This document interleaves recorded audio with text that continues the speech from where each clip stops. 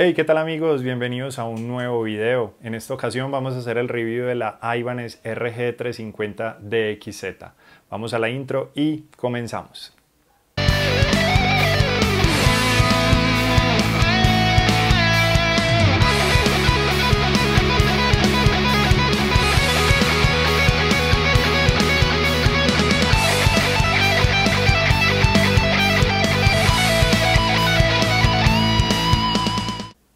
Llevo alrededor de cuatro años utilizando esta guitarra. Ya había tenido la oportunidad, como en el 2010 aproximadamente, de tener una Ibanez RG 420CM, muy bonita por cierto.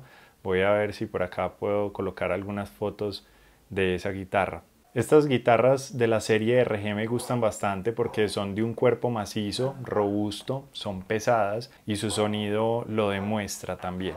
Vamos a hablar un poco sobre las especificaciones técnicas de este instrumento.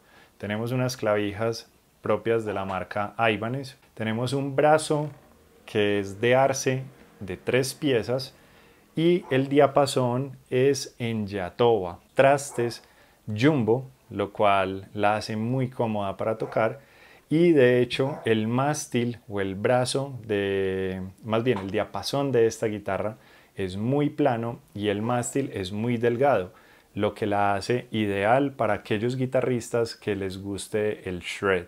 Si eres de esos guitarristas que les gusta correr en la guitarra, este instrumento es perfecto para eso.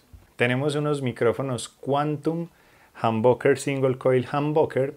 Esto tiene una particularidad que se las voy a comentar más adelante y lo van a notar cuando hagamos el test de sonido de esta guitarra. Tenemos un puente Pro Edge 2 y esta particularmente porque Ibanez al parecer sacó este sistema del mercado, ya esta guitarra no es la 350 sino que la encuentran como 450 y no viene con el ZP que es una barra que viene acá atrás. Tengo un par de videos por acá en el canal donde muestro de qué se trata este sistema, pero se los voy a comentar rápidamente. Es una barra que hace que cuando tú estires una cuerda, al generar mayor tensión, el puente técnicamente se levanta y esta barra sirve para bloquear justamente el puente y que eso no suceda, lo que te garantiza que la afinación de tu instrumento se conserva independientemente de que hagas bends o no los hagas. Como les estaba diciendo ahorita, esta guitarra, esta referencia en la 450 actualmente no cuenta con el ZP. Esta particularmente, 350, sí lo tiene. Ahora, un detalle importante, yo le quito esa barra. ¿Por qué se la quito? Porque hay un efecto que se llama flutter o, o como el efecto gárgaras, que es pegarle a la palanca y que quede vibrando. Si tuviéramos la barra del sistema ZP sosteniendo el bloque del puente, no tendríamos la posibilidad de generar esta vibración, por eso es que se las quito. Tengo dos guitarras con ese sistema, por eso lo menciono en plural. Tenemos un potenciómetro de volumen, un potenciómetro de tono, un selector de cinco posiciones y el cuerpo, la madera del cuerpo de esta guitarra es Meranti. Como les decía anteriormente, es una guitarra de un peso, tampoco es tan exagerado, pero sí se siente eh, un poco más pesada que otros instrumentos. En cuanto al puente flotante, quiero mencionar algo. Este tipo de guitarras, que se consideran una gama media más o menos, son muy buenas en el puente. Sabemos que muchas personas le huyen al puente flotante porque cuando te consigues un instrumento de entrada o de iniciación que tiene un puente flotante, las experiencias son nefastas porque son puentes de mala calidad. En este caso, este puente le he dado durísimo. Tengo una banda en la que utilizo mucho este puente y yo me voy al uso y el abuso con este puente flotante y este es el momento en el que todavía mantiene súper bien la afinación. Es muy estable en ello. Con respecto a los micrófonos, la particularidad que tiene este instrumento es que los dos micrófonos humbucker son de cerámica, mientras que el single coil del medio es de alnico. ¿Esto qué significa? que en la posición número 2, cuando se combinan estos dos micrófonos, y en la posición número 4, cuando se combinan estos dos micrófonos, da un sonido muy especial. Esto también la trae la RG470 y creo que la mayoría de instrumentos de la marca Ibanez que tienen humbucker, single coil humbucker, cuentan con esta combinación. Quiere decir que si estás buscando algo diferente en sonido, te recomiendo buscar una guitarra de la marca Ibanez que mezcle, en este caso cerámico, con alnico. Y para la prueba de sonido de esta guitarra vamos a utilizar el nuevo IK Multimedia Tonex Pedal. No olvides suscribirte al canal y activar la campanita de notificaciones para que YouTube te esté anunciando cuando suba el video review de este maravilloso pedal. Tiene un sonido espectacular. Vamos a hacer la prueba entonces de sonido a esta guitarra.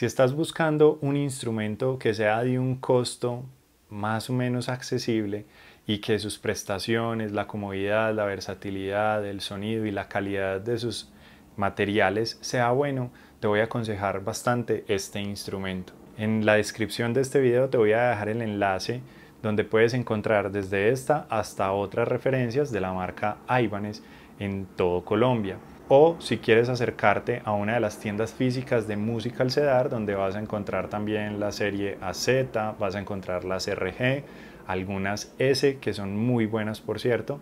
Luego estaré compartiendo el review de una que yo tengo, la S420, también de la serie AZ, que es una referencia más grande. De hecho, aprovecho para invitarte por aquí, en esta tarjetica, vas a poder ver el review de una de las AZs que tuve la oportunidad de probar. Luego haré el review de las dos que ya tengo actualmente para que las conozcas y te antojes también. Son guitarras de excelente calidad. Eso sí, el costo es un poco mayor. Espero que te haya gustado mucho esta guitarra y este video. De ser así, no olvides darle like.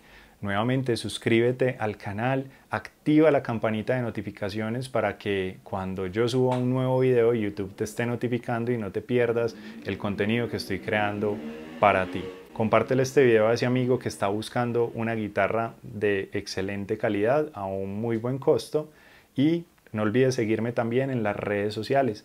Acá abajo te van a aparecer para que vayas a seguirme. Nos vemos en un próximo video. Chao, chao.